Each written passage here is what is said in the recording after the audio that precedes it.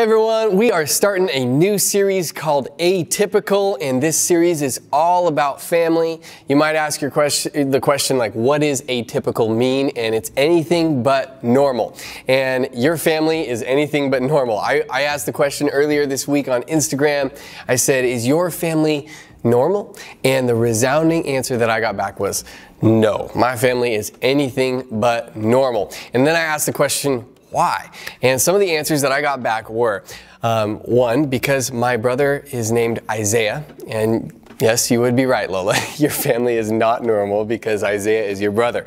Um, another answer I got back is, What is normal? Very good question. Another answer was, Because normal is predictable and my family is not predictable. And another answer could be because my last name is fill in the blank. Fill in your last name right there. Your family is atypical because you are a part of your family. And the same is true with my family. I don't care what um, family you watch on YouTube or Instagram, influencer that you follow, and you just think, man, their family is just so perfect. If I just had what they had, man, I would have the perfect family. The perfect family doesn't exist. We're all atypical families. We are all a little strange. And quarantine life probably has you thinking the question like, man, I just wish I had a different family. I just wish my, uh, my family wasn't so messed up. Or I wish my family understood me right? I don't know what it's got you thinking, but quarantine life has a weird way of messing with our thoughts and our perspective on things. But I just want you to know all families are atypical, they're a little strange. My family, growing up, uh, we moved every few years. We would fly overseas, we would live overseas in, in a foreign country where they speak a different language, and then we moved back to America, and then we moved back overseas, and back to America, and then back overseas. I mean, it was crazy. And so today, I'm a little socially awkward. I know you've never experienced that before. Um, but you know, if you have, I blame my family because they are atypical. And so if you're watching this, mom, dad, Val, uh, thanks, it's your fault. but no matter how imperfect or messed up your fam is, um, you're not alone, and that God has purpose for your family. God has hope for your family. You need to hear that, and that's going to be the resounding theme through this series. Is there's hope for our families. There's hope for our messed up, weird, atypical families. So. To start this series, we're going to be reading out of the book of Genesis, chapter 2, 3, and 4, and I'm going to paraphrase this. We're going to read about the story of the first family ever created by God, Adam and Eve. And Adam and Eve, man, they had it set up. God created them a beautiful garden, and He said, Hey, I want you to, to take care of this, and I'm going to put you in charge of this. And, and so Adam and Eve had this beautiful, euphoric relationship with, with each other and God, and, and, and they had one rule don't mess it up, Adam and Eve. Don't mess it up.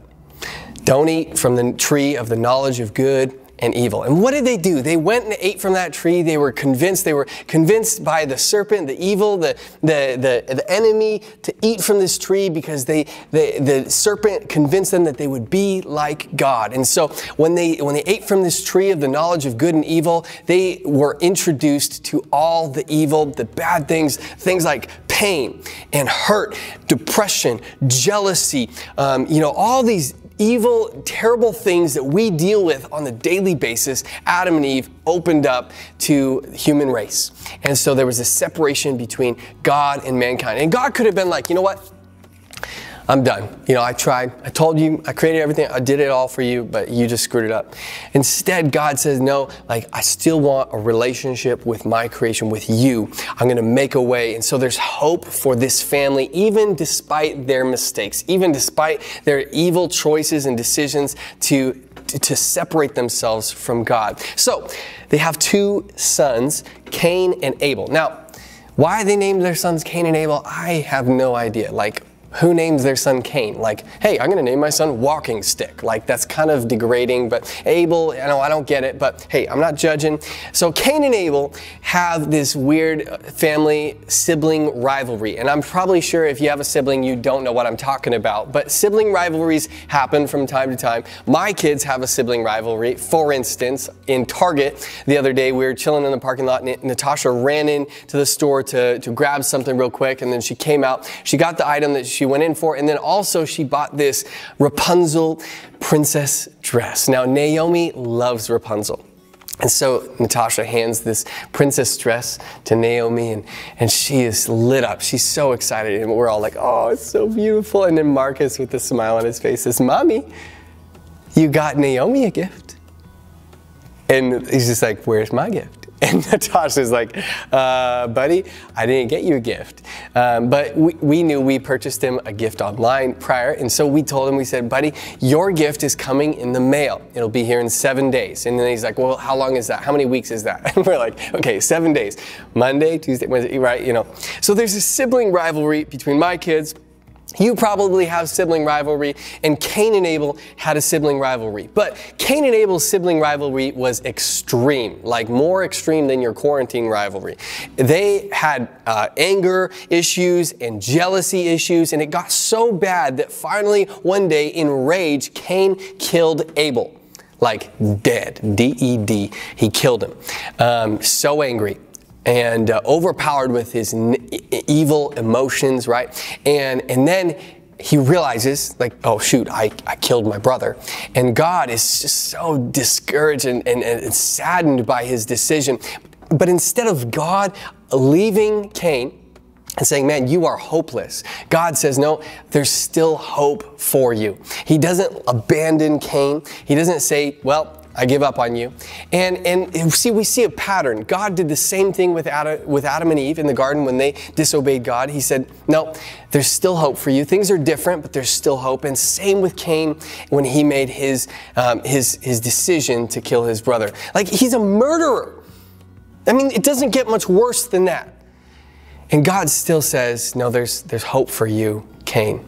And the same is true in our family. No matter what your family has done, no matter what your family's been through, no matter what your situation and current um, situation is, God says there's still hope for your family. God wants to do incredible things through our family. Despite our mistakes, despite our worst moments, our story is much greater than our worst moments. Your story is much greater than your worst moments. You need to hear that. You are not a sum of your worst mistakes. You are more than your worst moments. If you have a Bible, Romans chapter 5, verse 18 through 19, we're going to read out of here. I'm reading from the New Living Translation. Romans chapter 5, verse 18 through 19. It says this Yes, Adam's one sin brings condemnation for everyone. But Christ's one act of righteousness brings a right relationship with God and new life for everyone.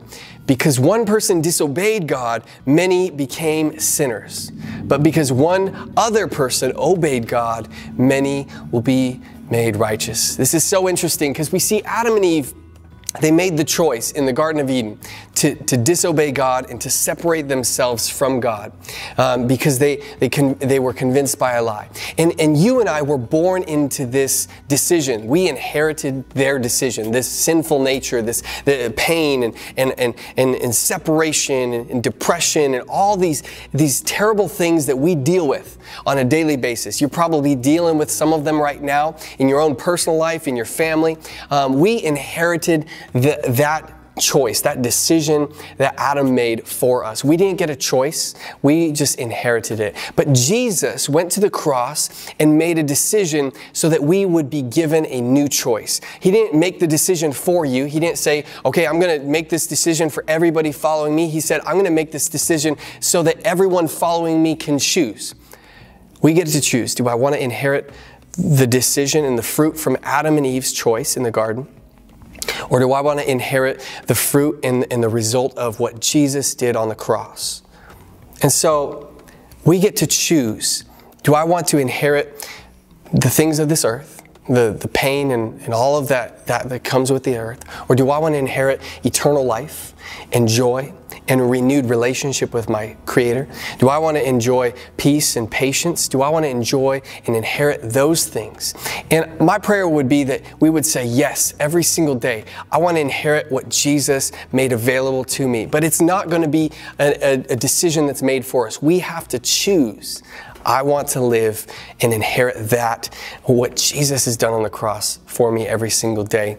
Um, so, despite your mistakes, despite your messy family, despite all of the things that you're going through, you've been through, God never leaves us hopeless. He never abandons us. He is always making a way for us to have a relationship with Him. And that's good news. So I hope you're encouraged tonight. I hope you're challenged tonight to grow closer to God. And, and I, I hope you're ready to engage in your Zoom small groups tonight, to, to dialogue with your friends about, man, what is your family like? My family's like this. And, and uh, what are you struggling through right now with your family? And, and what, what are you believing for your family in the future? And so I just encourage you, let's prepare to, to interact and, and to have some fun tonight in our small groups. So let me just pray and then we'll go into our small groups.